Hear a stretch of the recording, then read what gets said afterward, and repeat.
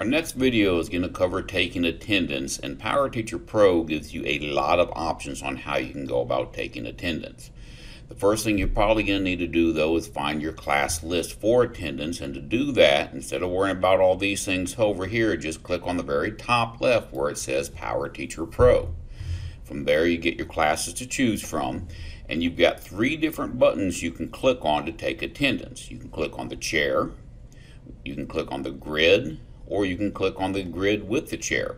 And all three buttons will take you to a place you can take attendance from. If you like calling roll, which you want to sit there and do Bueller, Bueller all day long, well then, yeah, you can click on the chair. That works for you, go for it. And that's going to bring you up to the single day view. And you notice all these are currently blank right now.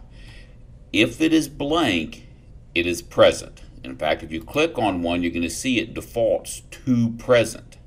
And then from there, you can click on the down arrow and you can take and select whatever else you want. Now, I'm going to show you something else cool. Let's say Fabian here's tardy. So we're going to click the tardy. And now you got a comment box that just popped up here. We can take that comment box and click on it, and we can actually write in a comment there about why we marked Fabian tardy that day. That is one of the most awesome advantages about using PowerTeacher Pro and PowerSchool over when we had iNow, because it takes and allows you to leave a little, what we'll call it a memory cue on why you did something or why you, you need mark the child a certain way. That way, if mama comes back saying, why was he marked tardy, or the principal wants to know why he was tardy this time, you got all the information right there, and it makes a real quick, simple little reference. Uh, this is not something that's being required, but if you're old and forgetful like me, it is a wonderful thing to have. Now, Another option is to take and go, let's go back in here and we're going to click on the chart. I'm going to hit leave here because I did not submit. If I click on the chart, it's going to take me to the multi-day view. And this one is going to be set up to where, oops, I clicked on the wrong class, sorry. Click on this chart. I'm going to click on the multi-day view, and this one's going to set, be set up for a high school where they have A and B days. The grayed out days are days you can't take attendance on. The days that are not grayed out are the days you can take attendance on. A nice part about this is once you get further down into the year, you'll be able to see a pattern of who's been here and who's not.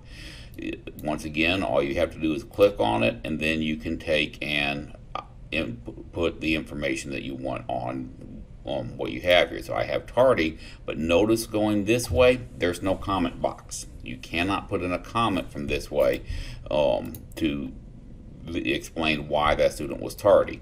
Once you get your attendance done, of course, you're going to hit the submit button right here, and that will forward the attendance on up to the office. Now, the next thing I want to show you is the seating chart one. And this is my favorite way of doing it. So for the seating chart one here, I believe I made a seating chart for that class. Let's go to, there it is, reach to seating chart. And we've already talked about this before. Let's make that a little smaller. All you have to do is click on the student and say, boop, student's tardy, and look, you get a comment box right here for Fabian once again, so you can take and write in what Fabian was doing or why Fabian said he was late and the reason you marked him tardy. Three real quick, simple ways to move around. Now, I'm going to show you something else. Remember the um, three things we had, once you're inside of it, you can just click on the tab. You want to see single day? Boom. And we're going to hit, um, do I want to save changes? No. So click on single day, and there's your single day view. You want to click multi-day, and here's going to be your multi-day view. You want to click the seating chart attendance, and there's the seating chart attendance. So once you're inside of it, you will be able to move from one format to another at the click of a button. Now, another issue I have sometimes is when Miss Osborne calls down and say, Mr. Reach, will you please put your attendance in? And I'll say, uh, I thought I did. Well, guess what? I didn't. And you will always be able to know if your attendance is done because this little circle here will turn a real pretty shade of green. And that's your clue to know that you have actually taken attendance for that class when you're um, when it's green there that is it for attendance. We've got some other cool things to go over in the future. I hope you find this useful. Let me know if you have any questions.